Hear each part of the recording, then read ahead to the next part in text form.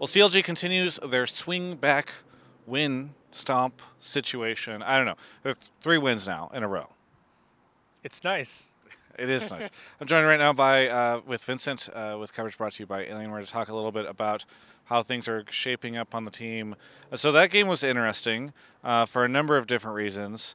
Uh, didn't you ended up getting first blood? I think by throwing down a ward on a thresh lantern.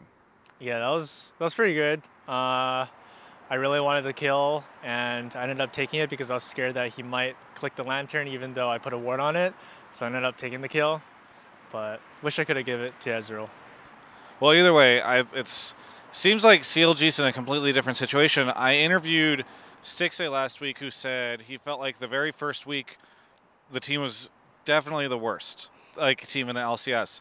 Uh, I'm curious, where do you think CLG stands now? Um, I think we're probably middle of the pack right now, even though we've had like a three game winning streak. The thing is, I can't really know because in scrims we have like pretty bad results, but on stage we've been winning like the past three games.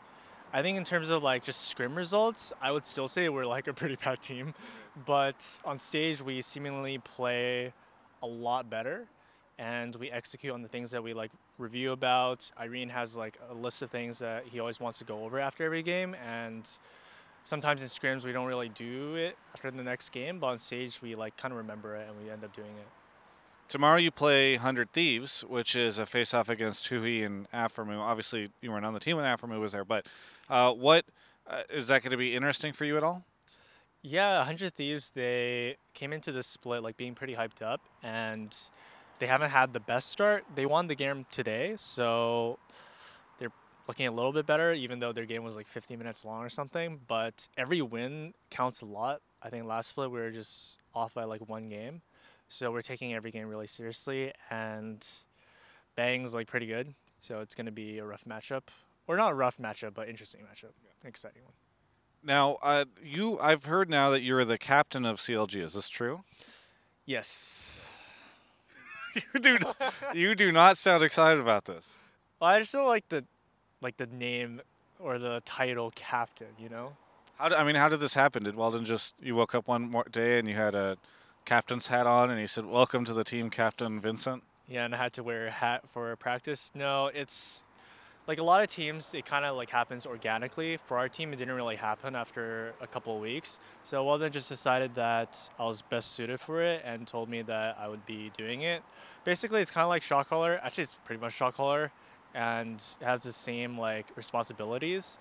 It just has a different title, and I don't like the title. Well, let's talk about it being a shot caller then, because I'm getting a weird sense of deja vu. I remember interviewing you uh, halfway through spring split last year, and it was like, "Congratulations, Vincent's now the shot caller for CLG." And then there was all this discussion around it, and then by summer rolled around, you were like, "Actually, we're experimenting with changing up shot calling, and it's a group effort." So uh, what what's going on here? Uh, I think the previous coaching staff we had me as the shot caller for like that little stint, and afterwards we decided that we would want to go back to democratic style. I think with this team, the coaching staff decided that it's better for me to just be like the captain or the shot caller. I think it's worked out better because people are still giving out their ideas. I'm more like a facilitator and um, kind of just grouping up ideas and like making it into a plan. So it's been working pretty well, I think. People like give their ideas or like I make my own and like we make a plan together. And usually we have like a very clear plan of what we want, what we want to do. And we're not like confused in game or like either we're like, what are we doing? We have like multiple different calls. We're like pretty set on like one single thing. So instead of a democratic style, you've become a tyrant. Yes. Okay. Is it is the power intoxicating? Sometimes it gets over my head, you know, but it is what it is. Yeah. What's an example? Have you ever yelled at any of the guys or told, you know, demanded they do something for you? Demand smoothies on my off day. No, it's just, I don't know. It feels the same, except I have a bigger voice in game, and people probably listen to me more. Is there a power struggle between you and Darshan? Because he's president of the, of the. the whatever the players association and now you're captain of his team is that is that difficult to manage no there's no power struggle okay.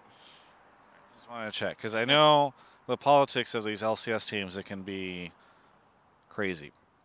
Uh, what do you think of the games? I don't know. Did you get a chance to see any of the other games today? Because there was some weird shit that was happening. Yeah, I got to see all of the games. The one where Huni played Zilean top and was not CSing was really whack. Gave me a couple of interesting ideas though. I think I saw a Reddit thread about that, like the specific thing where they play like Zilean top or Karma top and they just don't CS until they get their upgraded support item. That's, I feel like that shouldn't exist. Mm. That doesn't seem, that's kind of like gold funneling where I feel like it shouldn't be in the game. Okay. Wait, you're just against innovative strategies, Vincent? I like the old fashioned League Legends. You'd like us to go back to the day where there were like 40 champions and that was it. Pretty much, top laners didn't have TP, only Ignite, and supports were just walking wards with 500 gold max. Heart of Gold uh, and all that type of stuff. Yeah. All right. Now, uh, what has it been like? Uh, your your strategic coach has been getting flamed a little bit. Uh, did you see this at all? I think Freak was flaming him because there was a clip from your documentary where he had said that he hadn't watched any games uh, with like any of Darshan's games or any of uh, wait what, any of the academy games, so that he didn't know which like what to do in the top lane situation. You're unaware of all this. I didn't hear about that actually. Well. And I got nothing for this topic. Um, all right. uh, what are what other teams are you do you feel like are the big threats that you guys have to worry about? Uh, I think we still have TSM to play, and we've already played like the really strong team, which is like TL, and we ended up losing, so that wasn't great. But TSM and Clutch, I think, is actually pretty good too. So they're probably like the main teams that we still have to beat. If we end up going 2-0 this weekend, it will put us in a really good spot though. And if we end up doing well in like the first half, we should be set for playoffs. Well, that's exciting. People were telling me you guys were going to get tenth place, potentially both splits. Yeah, when I play solo queue, it's like, I enjoy being 10th, you. Is that what people say to you Yeah, people are so mean. in game or in your Twitch chat? No in game. Wow. Do you report them? No, because it's not like, well, it's toxic, but it's not like reportable toxic. I think you should report them. The red honors. Is there anything you want to say to any of the fans out there? Uh, thank you for supporting us. say the same thing every time, but it means a lot. And maybe we'll be playing Karma top with no CSing and Spell Thieves next week. Can't wait to see it. You said it shouldn't be in the game, but you're ready to abuse it. Gotta abuse it. You can check out the rest of my coverage of all things esports right here on my YouTube channel. Hey, don't click away. I know it's the end of the video. Don't click away. I, I know that you're just you're like hitting. you there's another clip somewhere that you're gonna click. Don't. All right, because I gotta tell you about my sponsor, Alienware.